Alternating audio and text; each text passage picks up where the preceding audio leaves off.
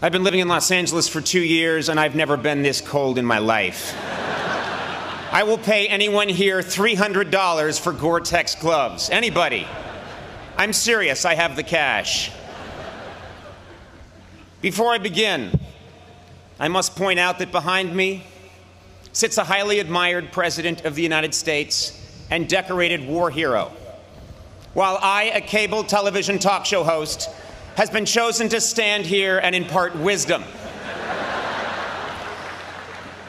I pray I never witness a more damning example of what is wrong with America today.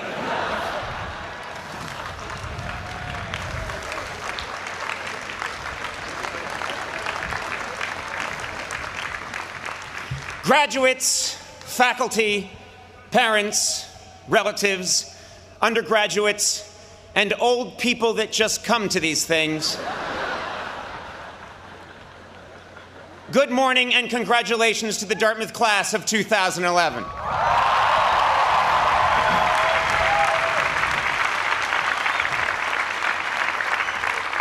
Today, you have achieved something special, something only 92% of Americans your age will ever know a college diploma. That's right, with your college diploma, you now have a crushing advantage over 8% of the workforce. I'm talking about dropout losers like Bill Gates, Steve Jobs, and Mark Zuckerberg. Incidentally, speaking of Mr. Zuckerberg, only at Harvard would someone have to invent a massive social network just to talk with someone in the next room. My first job as your commencement speaker is to illustrate that life is not fair. For example, you have worked tirelessly for four years to earn the diploma you'll be receiving this weekend. That was great. And Dartmouth is giving me the same degree for interviewing the fourth lead in Twilight. Deal with it. Another example that life is not fair if it does rain, the powerful rich people on stage get the tent.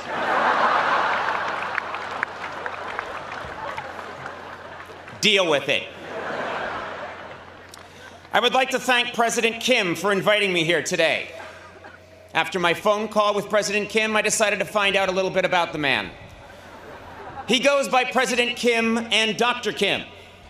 To his friends, he's Jim Kim, J to the K, Special K, J.K. Rowling, the Just Kidding Kimster, and most puzzling, Stinky Pete. He serves as the chair of the Department of Global Health and Social Medicine at Harvard Medical School, spearheaded a task force for the World Health Organization on global health initiatives, won a MacArthur Genius Grant, and was one of Time Magazine's 100 most influential people in 2006. Good God, man, what the hell are you compensating for? Seriously. We get it, you're smart. By the way, Dr. Kim, you were brought to Dartmouth to lead. And as a world class anthropologist, you were also hired to figure out why each of these graduating students ran around a bonfire 111 times. But I thank you for inviting me here, Stinky Pete. And it is an honor. Though some of you may see me as a celebrity, you should know that I once sat where you sit. Literally. Late last night, I snuck out here and sat in every seat. I did it to prove a point. I'm not bright, and I have a lot of free time. But this is a wonderful occasion. It's great to be here in New Hampshire, where I am getting an honorary degree and all the legal fireworks I can fit in the trunk of my car. You know, New Hampshire is such a special place. When I arrived, I took a deep breath of this crisp New England air and thought, wow, I'm in this state that's next to the state where Ben and Jerry's ice cream is made. But don't get me wrong, I take my task today very seriously.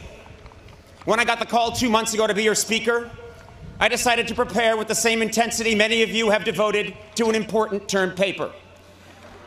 So late last night, I began.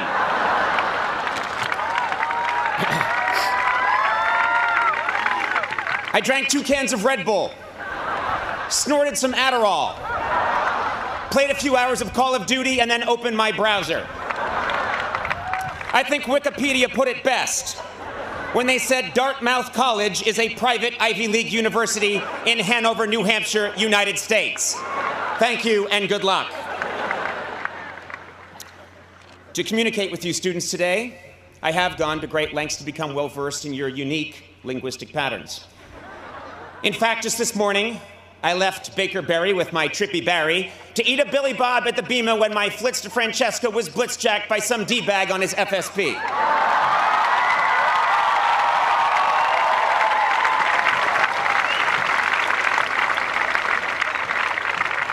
Yes, I've done my research. This college was named after the second Earl of Dartmouth, a good friend of the third Earl of UC Santa Cruz, and the Duke of the Barbizon School of Beauty. Your school motto is Vox Clamantis in Deserto, which means voice crying out in the wilderness. This is easily the most pathetic school motto I have ever heard. Apparently, it narrowly beat out silently weeping in thick shrub and whimpering in moist sleeve without pants. Your school color is green. And this color was chosen by Frederick Mather in 1867 because, and this is true, I looked it up, quote, it was the only color that had not been taken already. I cannot remember hearing anything so sad. Dartmouth, you have an inferiority complex, and you should not. You have graduated more great fictitious Americans than any other college. Meredith Grey of Grey's Anatomy, Pete Campbell from Mad Men, Michael Corleone from The Godfather. In fact, I look forward to next year's valedictory address by your esteemed classmate, Count Chocula. Of course, your greatest fictitious graduate is Treasury Secretary Timothy Geithner. Man, can you imagine if a real Treasury Secretary made those kinds of decisions?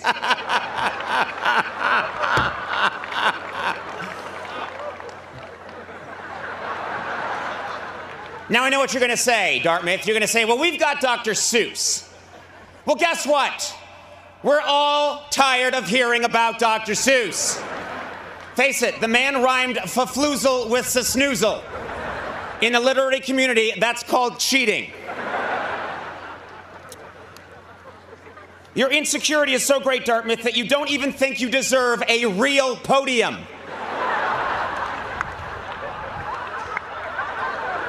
I'm sorry, what the hell is this thing? It looks like you stole it from the set of Survivor, Nova Scotia. Seriously, it looks like something a bear would use at an AA meeting.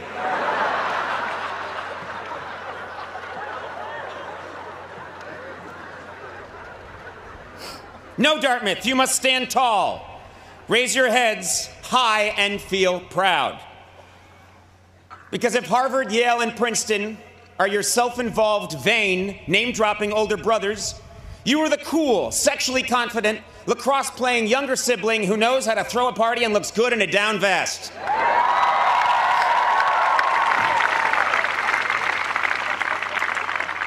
Brown, of course, is your lesbian sister who never leaves her room. And Penn, Columbia, and Cornell, well, frankly, who gives a shit?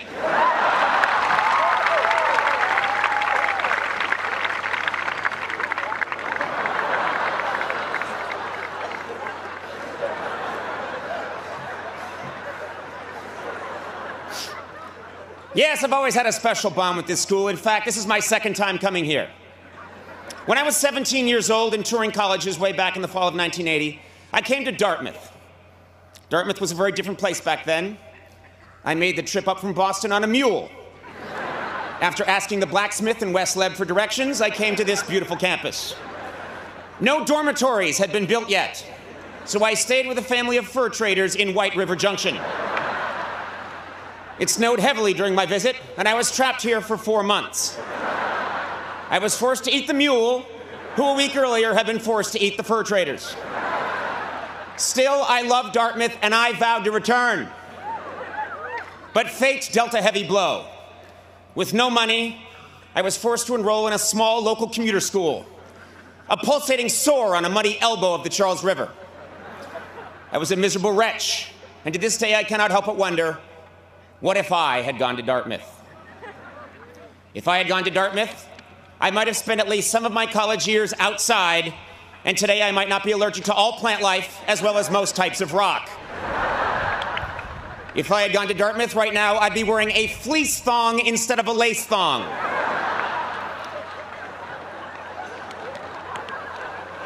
If I had gone to Dartmouth, I still wouldn't know the second verse to Dear Old Dartmouth. Face it, none of you do, you all mumble that part. If I had gone to Dartmouth, I'd have a liver the size and consistency of a beanbag chair. Finally, if I had gone to Dartmouth today, I'd be getting an honorary degree at Harvard. Imagine how awesome that would be.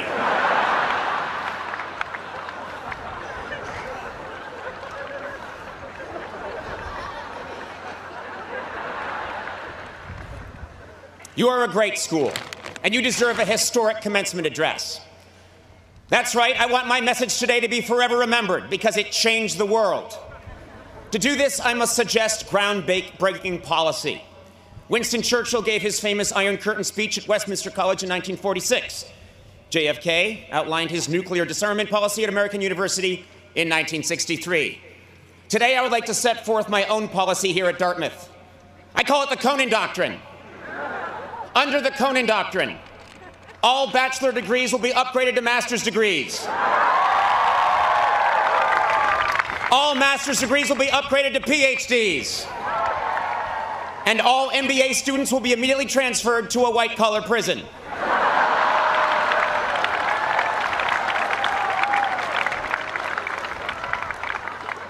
Under the Conan Doctrine, Winter Carnival will become Winter Carnival and be moved to Rio. Clothing will be optional, all expenses paid by the Alumni Association.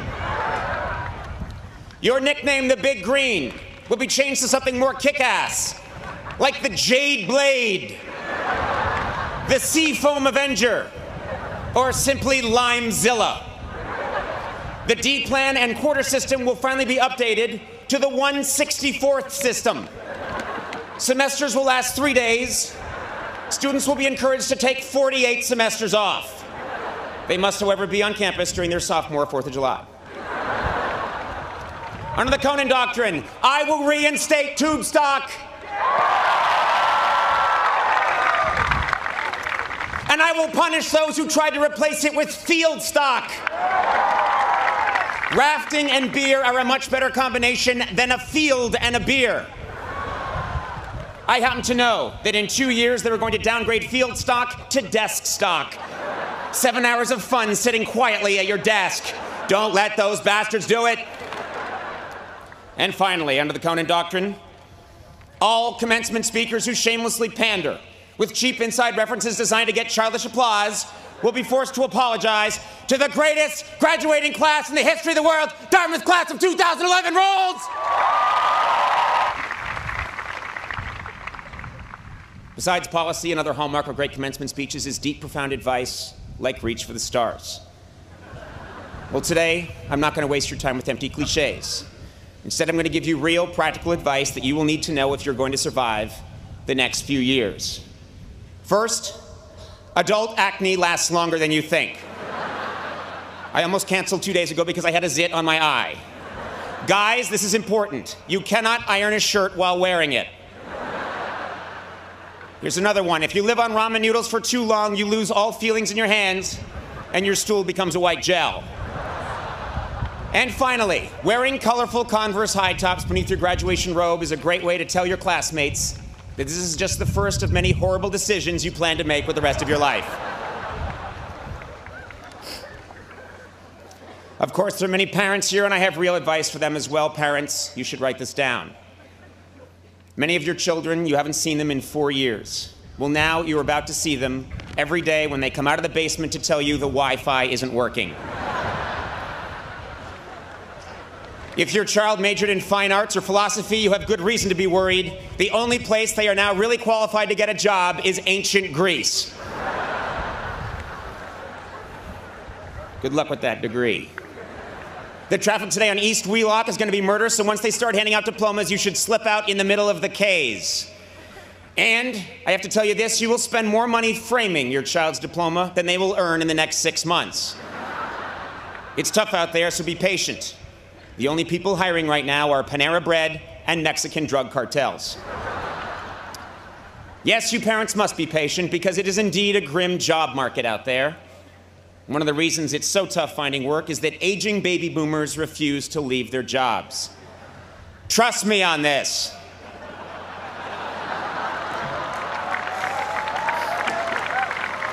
Even when they promise you for five years they are going to leave and say it on television, I mean, you can go on YouTube right now and watch the guy do it. There is no guarantee they won't come back. Of course, I'm speaking generally. But enough, this is not a time for grim prognostications or negativity. No, I came here today because, believe it or not, I actually do have something real to tell you.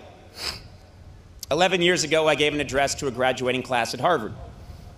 I have not spoken at a graduation since because I thought I had nothing left to say. But then 2010 came. And now I'm here 3,000 miles from my home because I learned a hard but profound lesson last year, and I have to share it with you. In 2000, I told graduates, don't be afraid to fail. Well, now I'm here to tell you that though you should not fear failure, you should do your very best to avoid it.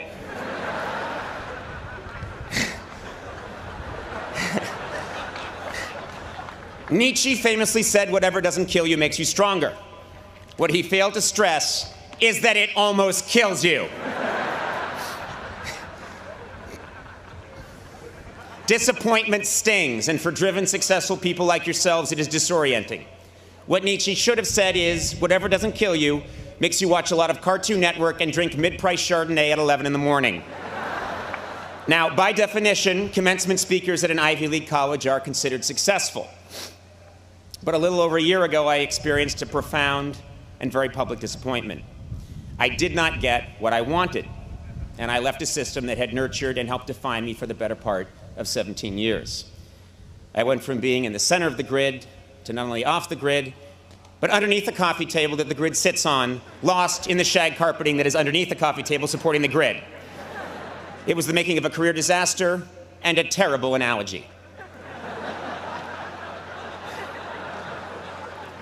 But then something spectacular happened. Fog bound, with no compass and adrift, I started trying things. I grew a strange cinnamon beard. I dove into the world of social media. I started tweeting my comedy. I threw together a national tour. I played the guitar. I did stand up, wore a skin tight blue leather suit, recorded an album, made a documentary, and frightened my friends and family. Ultimately, I abandoned all preconceived perceptions of my career path and stature and took a job on basic cable, with a network most famous for showing reruns, along with sitcoms created by a tall black man who dresses like an old black woman. I did a lot of silly, unconventional, spontaneous, and seemingly irrational things. And guess what? With the exception of the blue leather suit, it was the most satisfying and fascinating year of my professional life.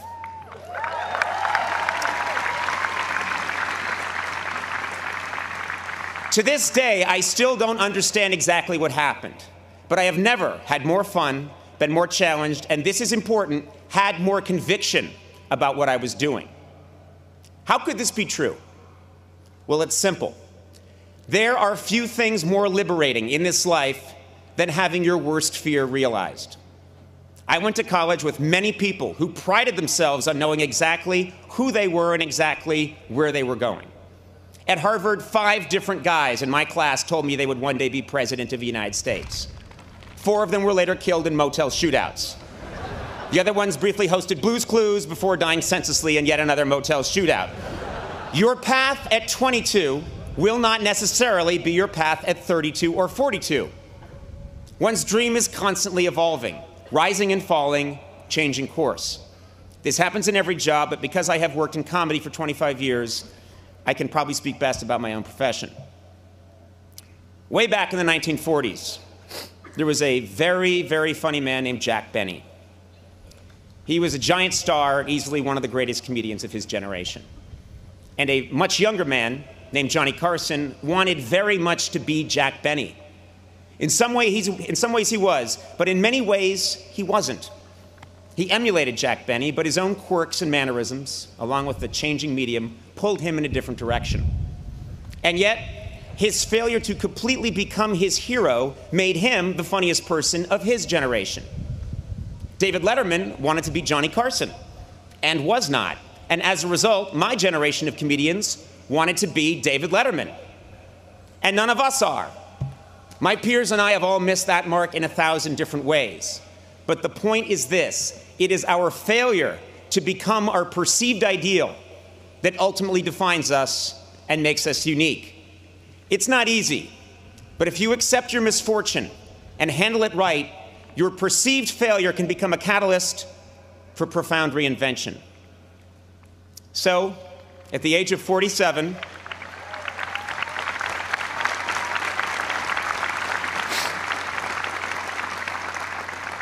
So, at the age of 47, after 25 years of obsessively pursuing my dream, that dream changed. For decades in show business, the ultimate goal of every comedian was to host The Tonight Show. It was the holy grail. And like many people, I thought that achieving that goal would define me as successful. But that is not true. No specific job or career goal defines me, and it should not define you. In 2000,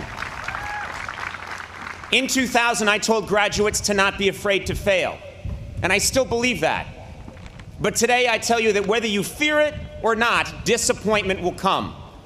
The beauty is that through disappointment, you can gain clarity, and with clarity comes conviction and true originality.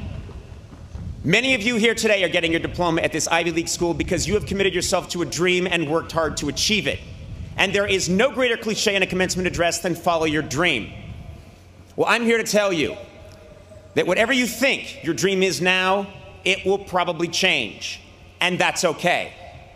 Four years ago, many of you had a specific vision of what your college experience was going to be and who you were going to become. And I bet today most of you would admit that your time here was very different from what you imagined. Your roommates changed, your major changed. For some of you, your sexual orientation changed. I bet some of you have changed your sexual orientation since I began this speech. I know I have. But through the good, and especially the bad, the person you are now is someone you could never have conjured in the fall of 2007.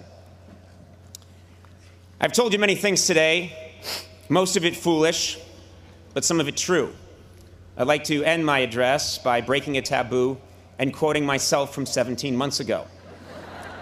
At the end of my final program with NBC, just before signing off, I said, work hard, be kind, and amazing things will happen. Today, receiving this honor and speaking to the Dartmouth class of 2011 from behind a tree trunk, I have never believed that more. Thank you very much and congratulations.